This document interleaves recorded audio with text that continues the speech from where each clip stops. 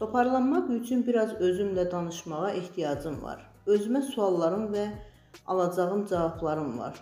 Son zamanlar özüm özümlə danışıram və müəyyən qərarlar verirəm.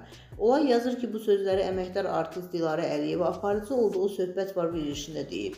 Sənətçi mərhum həyat yoldaşı rejissor və prodüser Oqtay Əliyevin ölümündən sonra düşündükləri barədə monoloq səsləndirib.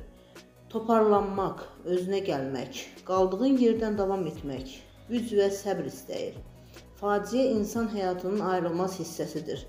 Qisməti yaşamaq, barışmaq nə qədər çətin olsa da, onu dərk etmək, özünə gəlmək, güc toplamaq və mahiyyətinə varmaq zaman istəyir.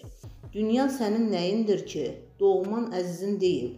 Gör bu dünyaya səndən nə qədər gəlmiş, insan etkisi yaşamış, özünə gəlmiş, toparlanmış və bir o qədər də itkini pis yaşamış toparlana bilməmiş, gücünü itirmiş var.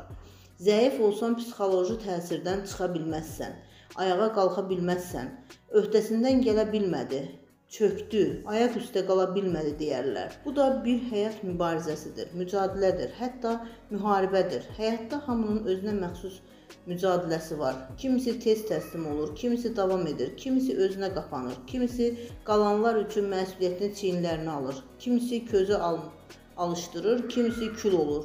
Hər dərdin öz çəkişi var.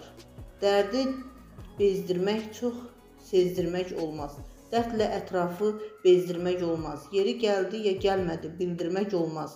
Həyatın hər üzünə hazır, hər sözünə hazır cavab olmalısan.